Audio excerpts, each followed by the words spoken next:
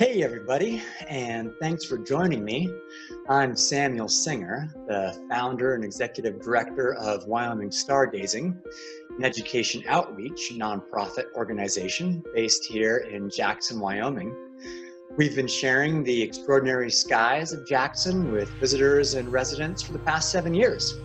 Uh, today, I'd like to share with you a little bit about the upcoming conjunction, the upcoming winter solstice, and uh, a few tidbits about some other objects that you can see in the Jackson winter sky. So let's check it out. You've probably already heard about the conjunction of Jupiter and Saturn that'll be happening coincidentally on the winter solstice of December 21st. You may have also heard it being referred to as the Christmas star. The last part of that may or may not be accurate, but we'll get to that. Here's what astronomers do know for sure. On the evening of December 21st, Jupiter and Saturn are going to appear really close to each other in the southwestern sky. They've been appearing closer and closer to each other all summer and fall as they've made their way across the southern sky along what's called the ecliptic, the imaginary path that the sun, the moon, and the planets follow through the sky.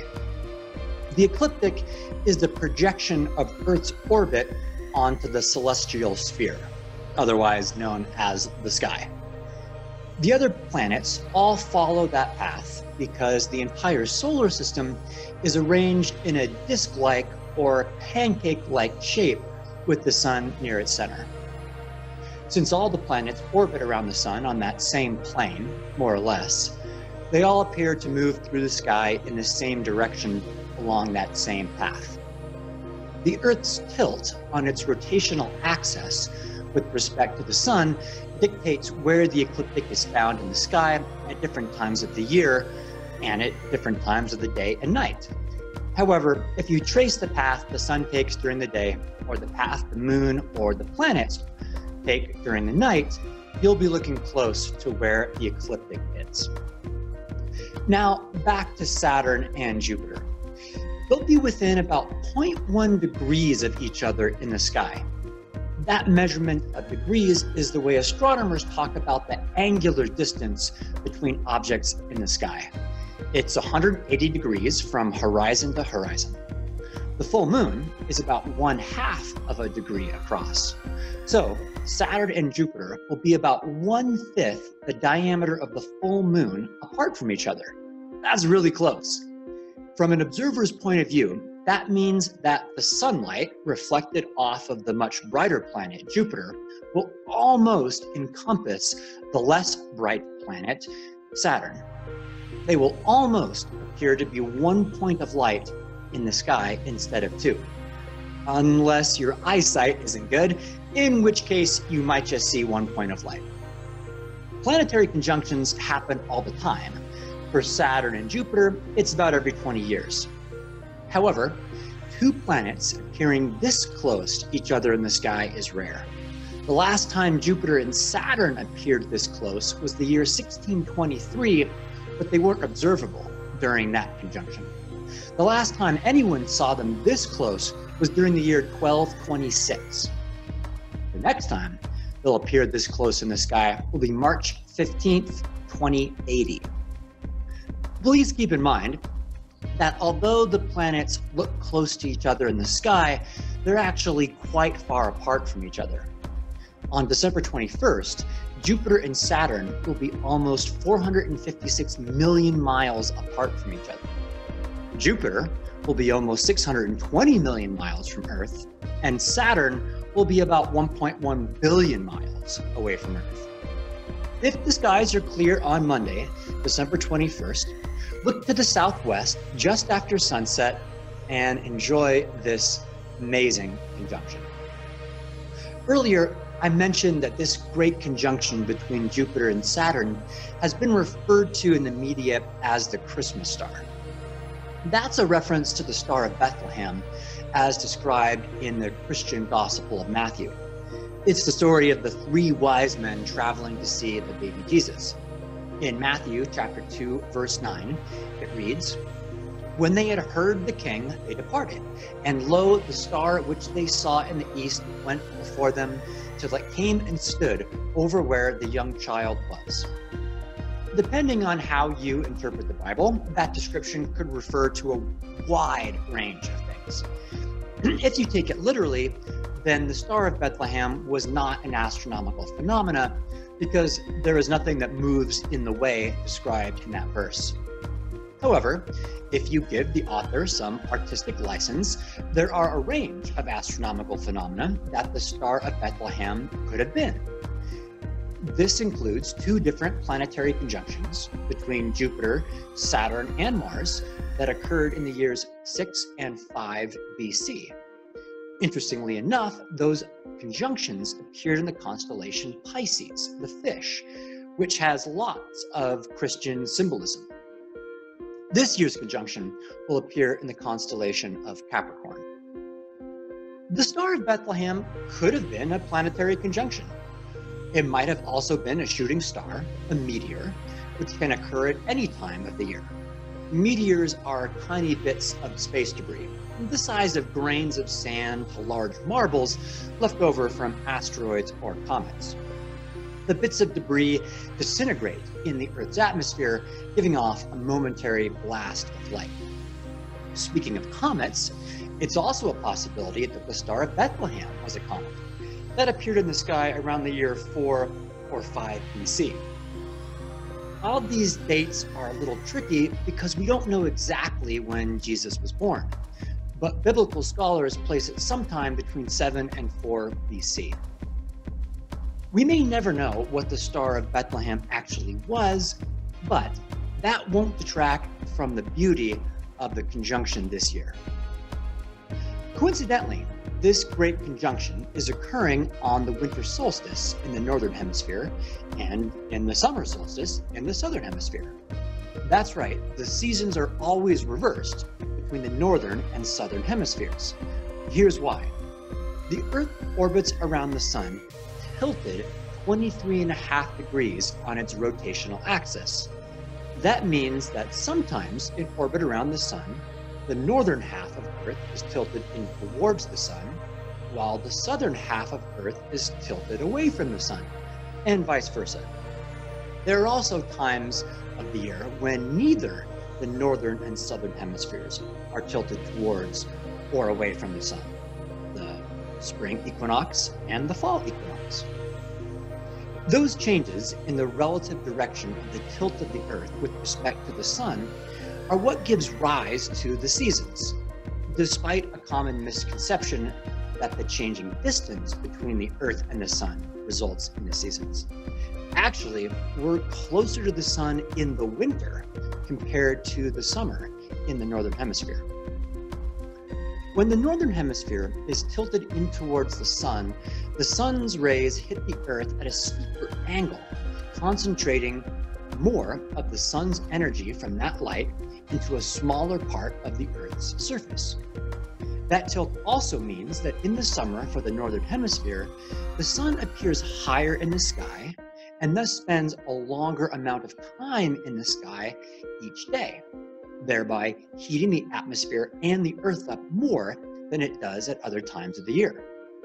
The reverse is true for this time of year in the northern hemisphere. We are tilted away from the sun, and so the angle of the sun's rays are at a much shallower angle, spreading that energy from the sun over a larger area of the Earth's surface. The sun appears lower in the sky and spends fewer daytime hours above our heads. Those two phenomena result in colder temperatures on this part of the Earth this time of year. On December 21st, the tilt of the Earth relative to the Sun will put the northern hemisphere facing away from the Sun to its largest extent, and will put the southern hemisphere of the Earth facing towards the Sun at its largest extent. So, on that day, we'll have our shortest period of daylight hours in the northern hemisphere, and the southern hemisphere will have their largest period of daylight hours.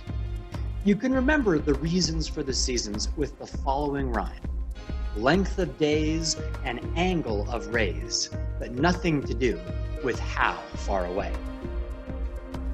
Now that we've explored the winter solstice and the great conjunction of Jupiter and Saturn, let's take a look at some of the other phenomena taking place in the winter sky in Jackson. My favorite constellation is Orion the Hunter. This time of year, Orion rises in the east at around 9 p.m. It's one of the most recognizable constellations in the sky, with three bright stars in alignment making up Orion's belt. Orion's right shoulder, on the left side of the constellation as it appears in the sky, is marked by what also happens to be my favorite star, Betelgeuse. Don't say that three times. Betelgeuse is a red supergiant star that is nearing the end of its existence. Sometime between tomorrow and the next 100,000 years, Betelgeuse will explode violently into a supernova. Most of the star will be destroyed except for the core, which will either stabilize as a neutron star or collapse into a black hole. One such stellar explosion took place in the year 1054 AD. It was recorded by the Chinese as well as the Anasazi. The remnant of that supernova is known today as the Crab Nebula. It's just above the constellation Orion in the sky in the constellation Taurus, but you'll need a telescope to see it.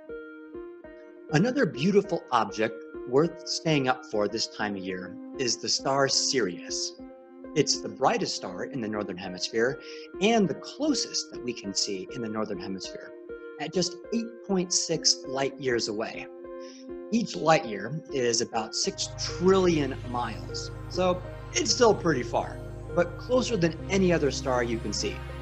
It'll rise about an hour after Orion does and can be seen to the lower left of where the constellation Orion appears in the sky. You can't miss it. It'll be the brightest thing there, shimmering in all different colors. All the twinkling of stars is actually taking place inside the Earth's atmosphere. The moving molecules in the atmosphere bends the light in different directions, causing a twinkling effect and different colors.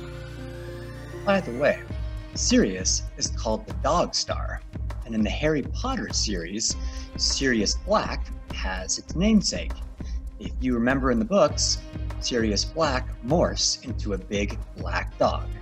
Sirius, the dog star. One other object that's worth checking out will be right above your heads after dark. That's the Andromeda Galaxy, the closest galaxy to our galaxy, the Milky Way, at just over 2 million light years away, is actually visible to the naked eye when the moon is new. If you look straight above your head, you'll see a small little fuzzy spot, just barely visible. That's the accumulated light of about a trillion stars from over 2 million light years away. That light has traveled over 2 million years to reach you, so it left the Andromeda Galaxy when our earliest hominid ancestor, Lucy, Australopithecus, was walking on the Earth. Before we finish up, I'd like to say a few more things about Orion and its largest star, Betelgeuse, which, by the way, is over a thousand times larger than the Sun. Only stars at least five times the mass of the Sun will end their existence catastrophically like Betelgeuse. Stars like our Sun will die with a whimper, casting off their outer layers more gently and becoming a planetary nebula.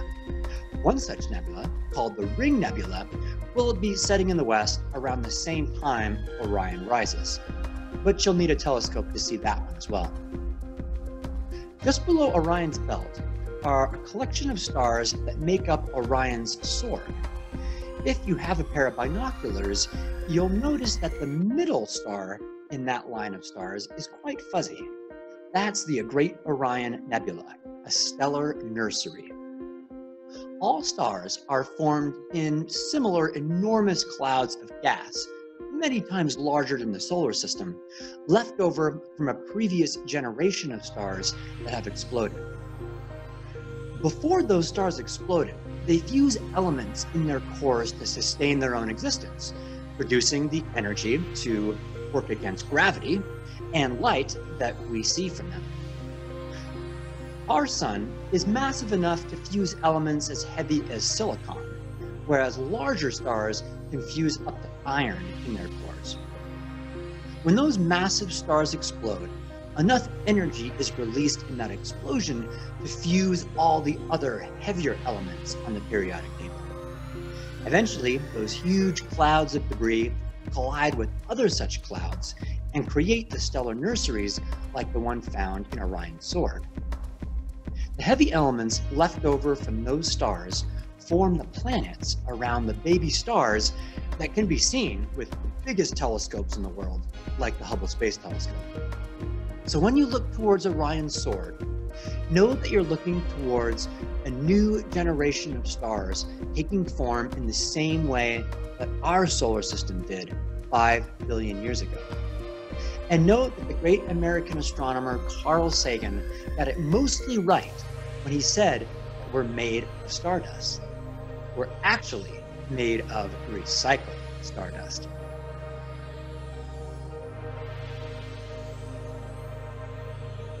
Thanks again for joining me.